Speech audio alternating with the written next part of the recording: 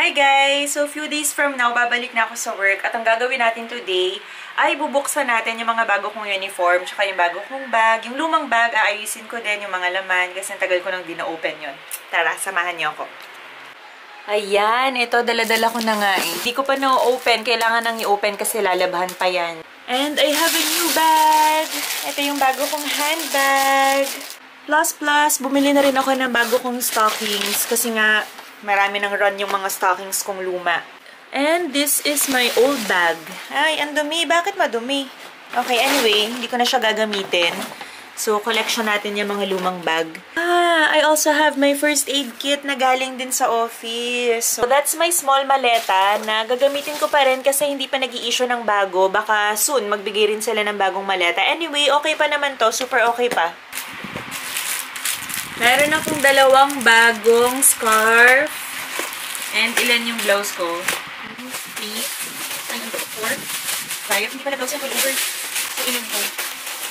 1, 2, 3, 4. And then, dalawang pullover. Tapos, meron din yung skirt. So, isusukat natin to ngayon kasi baka kailangan pang putulan. May size lang kasi na binibigay sa amin. Uy, ka kasya naman. Hindi ko na kailangan pa putulan. Teka, hingang malalim. Ang mga bilbel, itago kailangan kapag may bagong uniform, gagamitin mo na talaga. Hindi pwede yung kupas-kupas na yung palda mo kasi ayaw mo pang gamitin yung bago. So, kailangan laging bago yung uniform. Kaya lagi rin sila nag issue Kung hindi ako nagkakamali every 6 months. Kasi ang pangit nga naman kung kupas na yung yellow or yung pinaka-skirt natin, 'di ba? Ang pangit naman kung kupas-kupas na, eh maong pa naman to. Okay na, papalabhan na natin to. Nakalimutan kong ipakita, natanggal ko yung scarf. Ito yung isa naming uniform. Ito yung pullover namin. Usually, ginagamit ko to kapag night flight kasi nga ang lamig. Pero kapag yung mga domestic na balikan lang, hindi ko na ginagamit kasi mainit. Pero kapag long flight, mga international flights, ginagamit ko to. Para hindi naman ako lamigin. Dito naman tayo ngayon sa aking maleta. Oh my gosh, I miss you!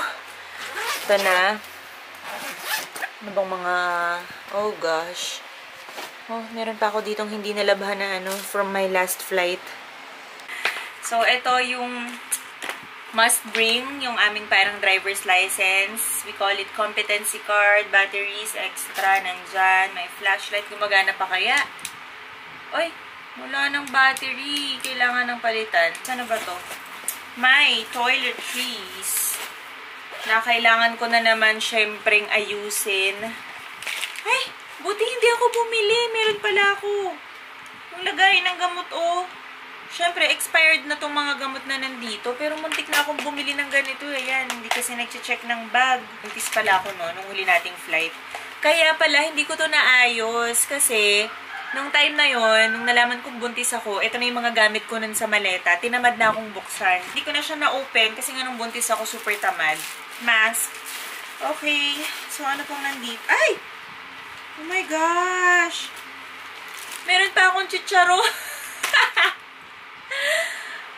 oh my gosh. Oh, meron pala akong tumbler. Hindi ko rin maalala na meron pala akong tumbler. So, lahat ng yan ay kailangan ko. Okay, aayusin natin to some other time. Sinecheck ko lang kung ano bang laman, ano bang kailangan kong bilhin, kung meron man.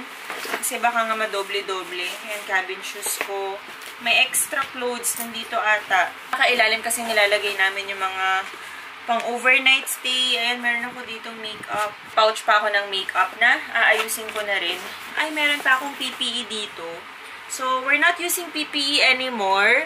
Ang ipapalit ko dito is yung apron. So, back to apron na kami. Wala ng PPE. My announcement. You know, ginawa ko yan. Pinalaminate ko talaga, pinrint ko para in case na makalimutan ko, meron akong easy access sa announcement. So, ayun lang naman ang ating maleta. Na-check ko na finally, nagawa ko siya kasi tagal nang nakatambay dito ng maleta. Tinititigan ko lang siya. May nakita pa tuloy tayong chicharon. Ito yung aking lumang handbag. Dahil may bago, syempre, luma na tawag ko sa kanya. So, meron ako dyang notebook. Ah, ito yung mga binabaon ko sa flight, pang retouch, mga lotion, eye something, eye, ano ba to? May highlighter pa ako dito. Ayun, may dala pang highlighter ka naman naman ginagamit. So, anyway, yan, naayusin ko rin yan. Ano, nandito yung passport ko. Yung passport lagi kong nilalagay sa mga ganitong lalagyan para in case na may matapon ay hindi siya basta-basta mababasa. Mahirap magpapalit ng passport na complicated. Hmm, ayan. Tanggalin ko na lahat kasi ito ay ilalagay ko na sa storage dahil wala na siyang toya. Meron ako dito, si Kaylee. Keychain ko na siya since pinanganak si Kaylee. Ayan o.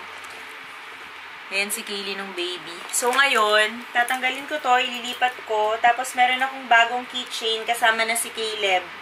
Yun yung i-add ko. Hindi ko to, hindi ko kaya i-give up tong ano eh. Tong keychain na to, sobrang tagal lang pinagsamahan namin. Huwag naman sana siyang mag-give up ngayon. Ito na yung bagong bag. Sa electric fan kasi napakainit. Hindi ako naka-aircon. Tipid-tipid sa kuryente. Kaya medyo may naririnig kayo na ingay. Pasensya na, wala pa tayong magic mic.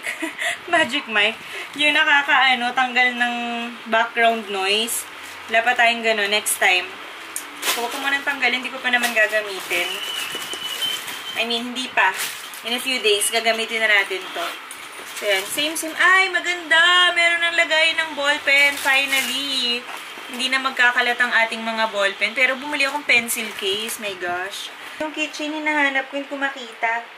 So anyway, hanapin ko na lang yung next time. Ang dami ko pang gagawin. Nag-aaral pa ako ngayon. Sobrang dami kong i-exam. Kaya naman guys, hanggang dito na lang. Maraming salamat sa panonood. Next time na ulit ang ating update. Di ko alam kung anong sunod na update ko sa inyo. Sana ang next update ko sa inyo ay, guys, nakapasa ako sa mga exams. So yun lang. Hanggang dito na lang. Maraming salamat sa panonood. Follow, like, and share. Goodbye. Paalam. Babu!